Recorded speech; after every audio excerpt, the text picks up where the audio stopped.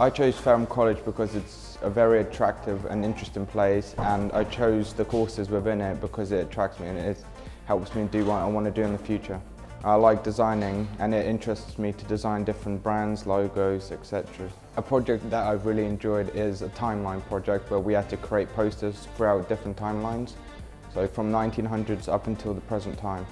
After I left Fareham College, I would like to um, go to university and carry on with graphics and develop my skills even further. It's a friendly environment and you learn a lot by doing your own experience, so you free roam in the stuff that you like to do. The lecturers are great because they allow you to do whatever you want in terms of your project, so they give you freedom to explore and develop your ideas, and they're really friendly and they help you throughout all your courses.